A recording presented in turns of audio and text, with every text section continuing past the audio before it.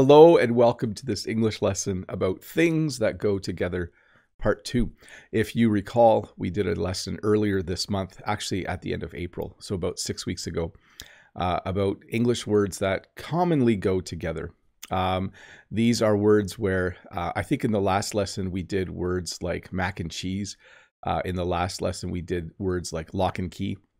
Um, they're words that if you learn the one word, you might as well just learn the other word as well because they're often said at the same time. So, this is part two. We're going to learn about 30 more word pairs in English that just go together. Uh, they just go together really, really well. So, welcome to this lesson about things that go together, part two. To toss and turn. So, when you don't sleep well, in English, we often will say, Oh, I tossed and turned all night. Or I ate a big bowl of ice cream. Tonight, I'm not going to sleep well. I'm going to toss and turn. So you can just say, I'm not going to sleep well. Or you can say, I didn't sleep very well last night. That would be a fine way to describe it. But this is a very common thing to say in English. Um, I had bad dreams last night and they made me toss and turn all night. So basically, what it means is that you're rolling around in bed. You're not just laying there sleeping nicely you're kind of like laying on your side and then lay on your other side and then lay on your back. You're kind of moving throughout the night because something is preventing you from having a good night's sleep. So then you toss and turn. Um, last night I did not toss and turn all night. I had a good night's sleep, which makes which makes me uh, happy and in a good mood. Fish and chips. So I'm not sure how common this is in like the United States. I'm sure in parts of the United States it's quite common, but I know in Britain and in Canada we have a specific kind of restaurant that sells fish and chips. The town where we sell flowers in also has a fish and chips shop. So fish and chips are again french fries with fish. So there's fish. It's usually here I think it's halibut or cod. Uh, and then it has French fries with it, which our British cousins probably call chips, uh, but we call them French fries. But if you buy them with fish at a fish and chip store, then we call them chips. So it's the only time in Canada where we say fish and chips and use the word chips to talk about French fries. Cops and robbers. This is a very common game for kids to play. When I was a kid, sometimes my friends would come over and some of them would pretend to be cops and other kids would pretend to be robbers and we would play cops and robbers. So usually this phrase is used to talk about kids playing pretending to be a police officer pretending to be a robber. Uh, we often played cops and robbers when i was a kid. Uh, the robbers would pretend to steal stuff and hide and then the kids who were pretending to be cops would try to find them it was uh, it was a fun game. We also played hide and seek. That's where one person counts with their eyes closed and everyone else hides, and then that person has to find them. I think in French it's called cache cache. But cops and robbers, another game that kids sometimes play. Odds and ends. So this is an interesting one because most people that I know have a drawer in their kitchen like this. It doesn't have forks and knives and spoons in it. It doesn't have like dish towels in it. It has all different things. And we would call this a junk drawer in my family. And it's filled with odds and ends. When you say something is filled with odds and ends, it means like this drawer, I think it has a screwdriver and some tape and a stapler and some pencils. Uh, I think there's even some batteries over on the far side. This looks exactly like our junk drawer. It's just filled with all kinds of different things, and we would call those things odds and ends. Um, I'm wondering if some of you have a drawer like that in your house where it's just filled with odds and ends. It has all different things in it. Bells and whistles. So this doesn't actually refer to bells and whistles. A bell is a big thing that rings, um, like bong, bong. And then a whistle is like something that a referee uh, would have during a sports game. But when we use the phrase bells and whistles, we mean that you bought something and it has all of the available options. Like he bought a car with all the bells and whistles. It has power windows and it has GPS and it has um, um, a stereo and it has uh, power steering, and all of these things are none of these things are options anymore. But it has air conditioning, it has um, intermittent wipers. So when you buy something uh, and say that it has all the bells and whistles, it means that you've bought something uh, where instead of the basic model, you've spent extra money to get all of the really cool features. Often we'll use this when talking about a car, you know, oh, he bought a new sports car with all the bells and whistles. So, ladies and gentlemen, I don't start my English lessons this way, but this is a common thing for people to say when they're talking in front of a group of people. So, a lot of times when you're um, doing some public speaking, you'll start by saying, Ladies and gentlemen, welcome. I'm glad that you came this evening. Tonight we're going to talk about, and then you would say whatever you're going to talk about. Often, when a student gives a speech at school, if there's parents in the crowd, they will start by saying, Ladies and gentlemen, fellow students, friends and family, and then they'll give their speech. Um, so, most often I hear this when someone is giving a talk when someone is presenting some information to other people. They'll start by saying, Ladies and gentlemen, welcome to this live English lesson. That's how I should start every week. Maybe I'll change and be a little more formal. Drinking and driving. So there are word pairs uh, for bad things in the world. Um, when you talk about someone who is driving under the influence of alcohol, uh, someone who is driving while intoxicated, the informal way to talk about that is to call it drinking and driving. You know, he got a ticket because he was drinking and driving. He was consuming or had consumed alcohol and then was driving his car. He was drinking and driving. So those two words often are seen together. People make signs saying, stop drinking and driving, or, you know, raise the fine for drinking and driving. A very, it's a very serious offense, by the way, in Canada. You should not drink and drive. Safe and sound. We use the words safe and sound usually when someone goes somewhere and when they let us know that they arrived. They'll often say, uh, Yep, we landed um, at the airport and we're in Holland safe and sound. Or, Yes, we arrived at our destination safe and sound. And it just means that you arrived there and the trip went well uh, everything is going really, really good, and you're happy and safe and sound. So um, it means there was no accident on the way. It means usually that you didn't lose anything on the way. It means that everything went as planned. So you arrived safe and sound. In fact, one of my kids went on a trip a couple of weeks ago, and the first night they were there, they sent a text message saying that they arrived safe and sound that they had checked into their hotel and they were looking forward to the next day. So safe and sound. Wine and cheese. I think we should blame the French for this. I'm not 100% sure.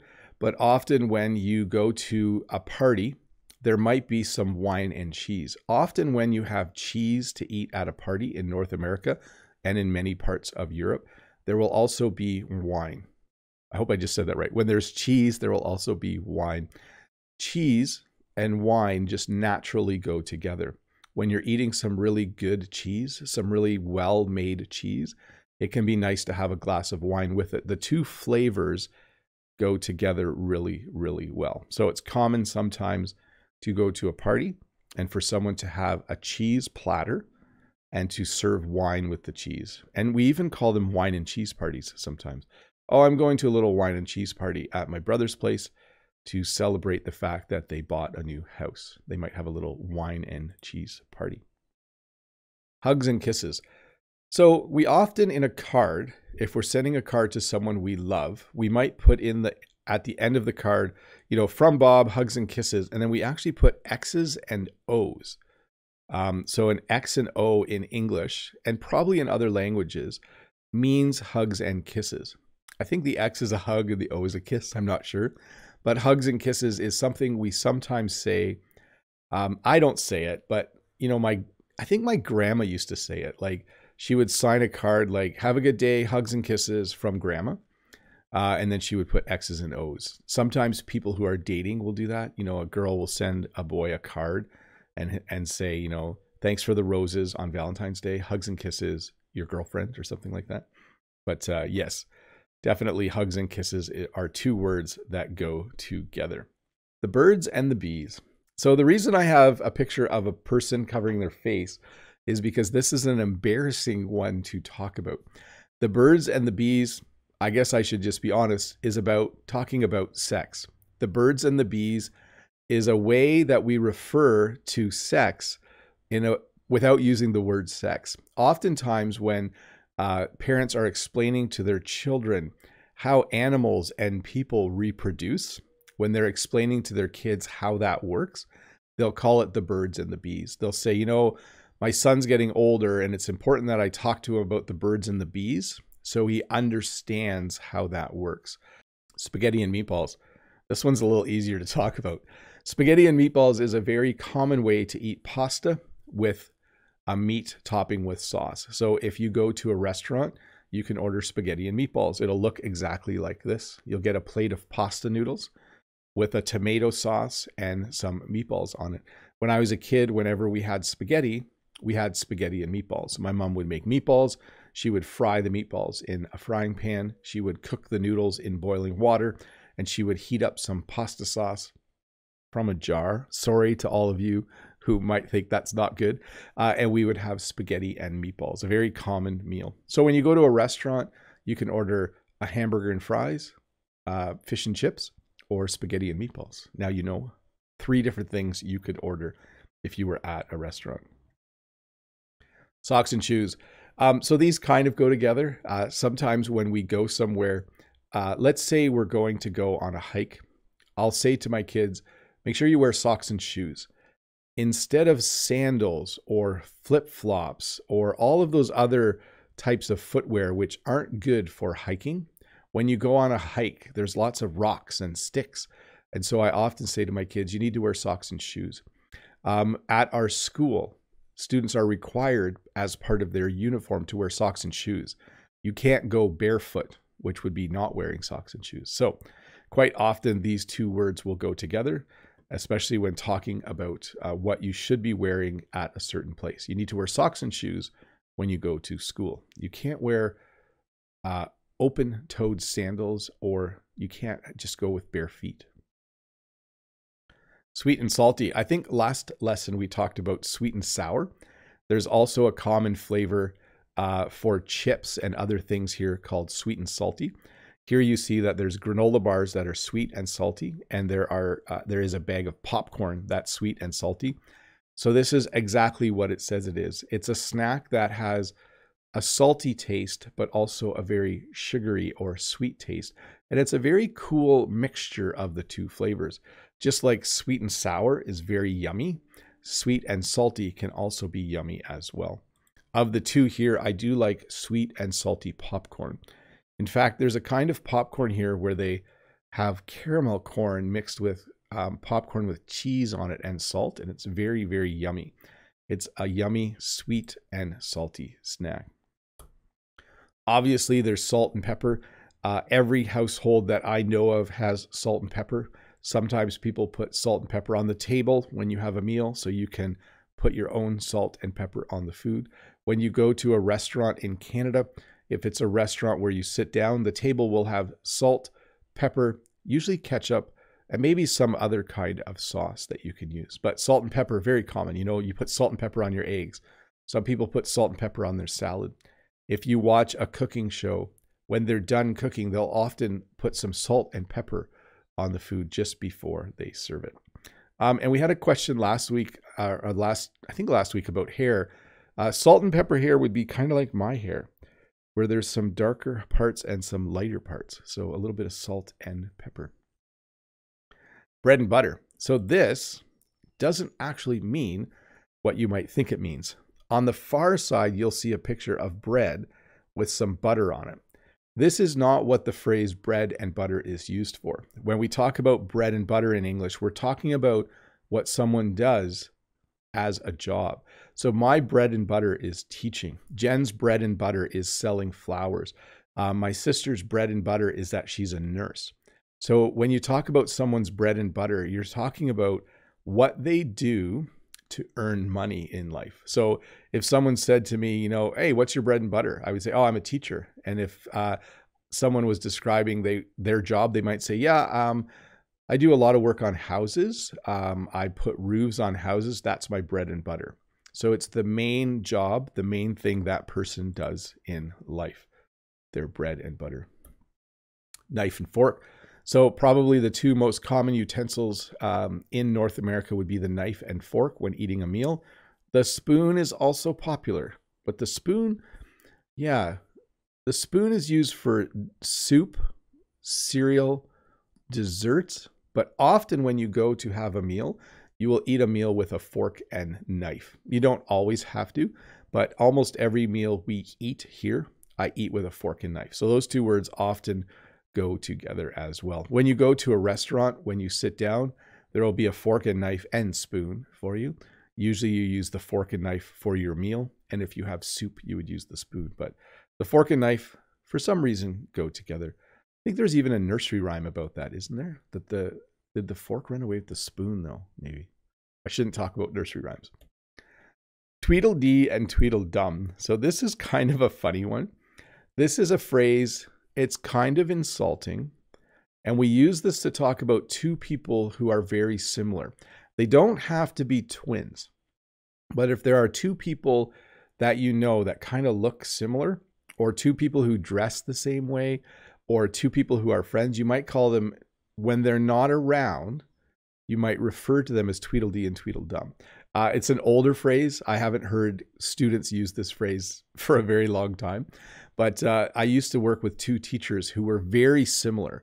They were the same height, they liked the same things, and sometimes when they weren't around, we would call them Tweedledee and Tweedledum. Have you seen Tweedledee and Tweedledum? So uh, anytime you refer to two people, remember it's somewhat insulting.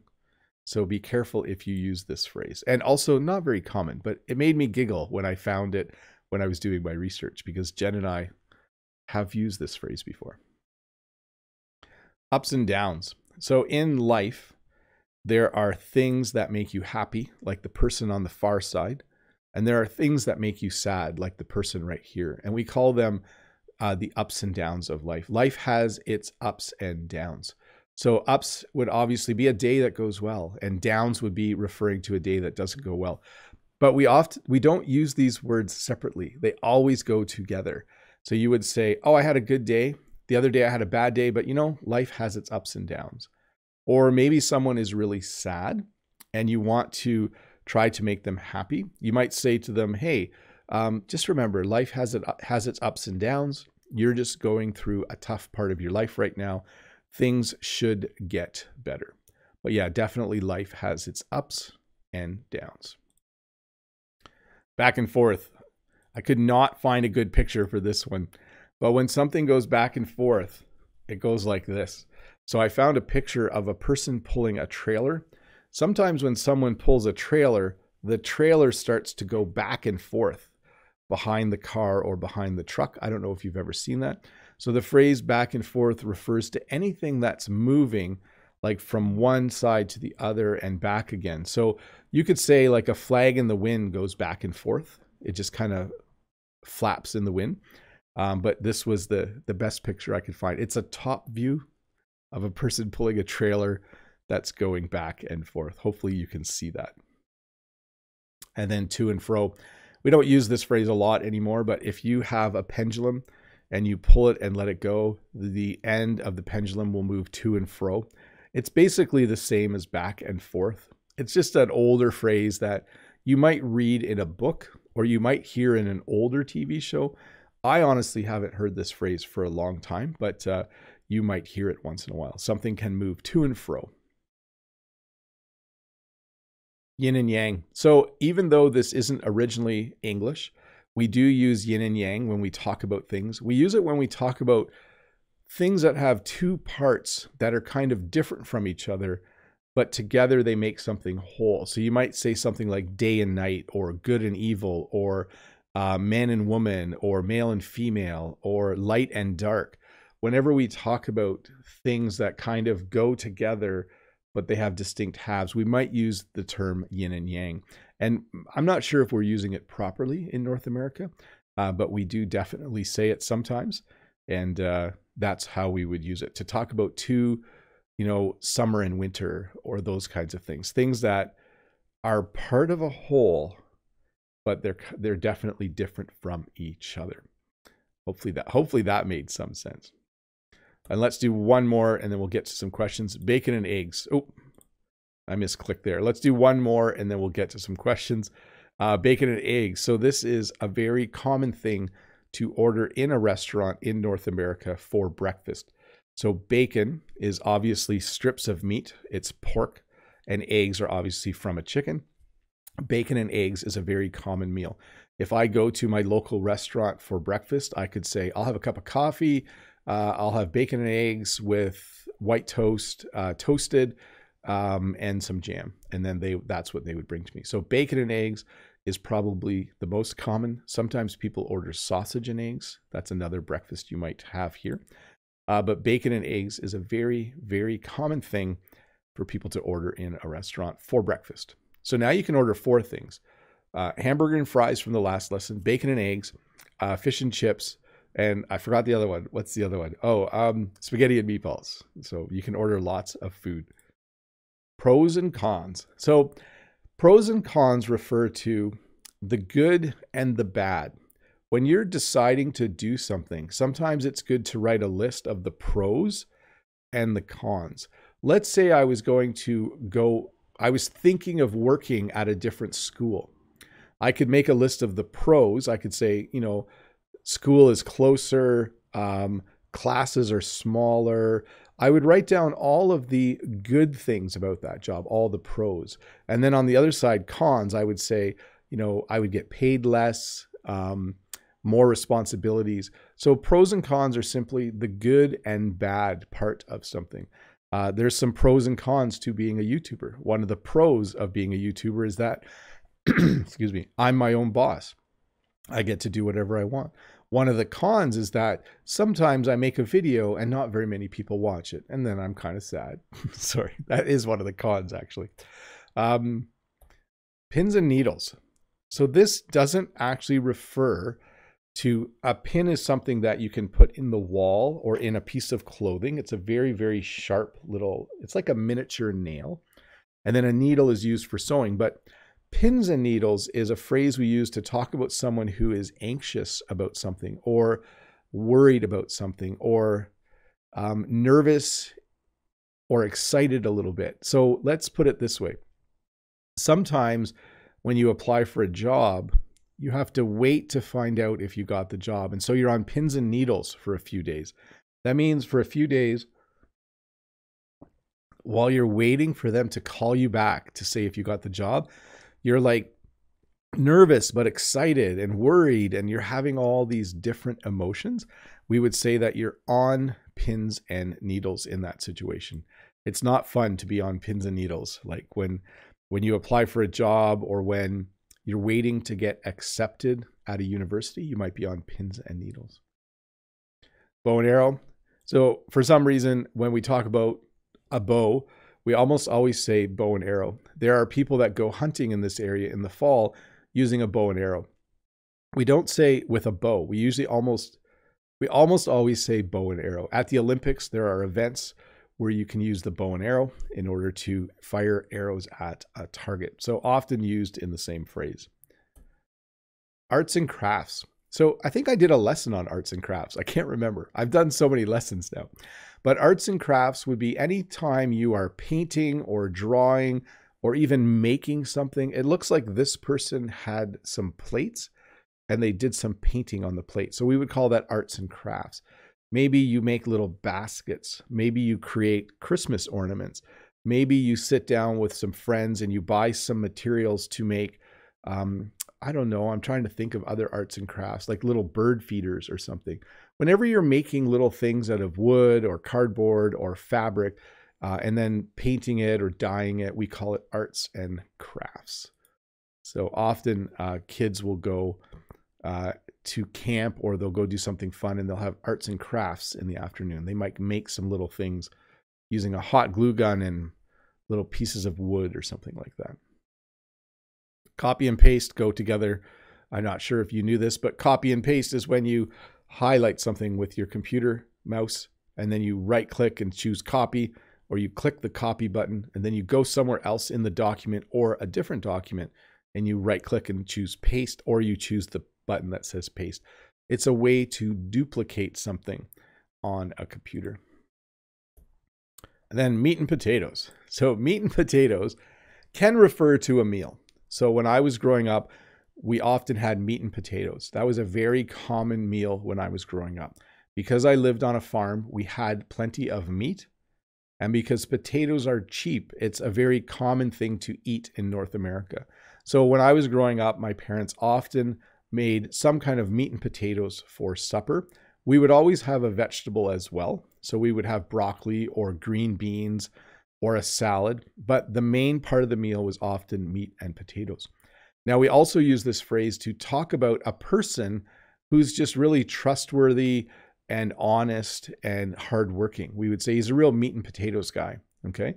Uh, I've been described as a real meat and potatoes guy before. Like I'm, I guess I have those characteristics. I don't want to say what I'm actually like, but when you describe someone as being a meat and potatoes person, that's what it means. Uh, let me actually look up the meaning of meat and potatoes. Meaning of meat and potatoes.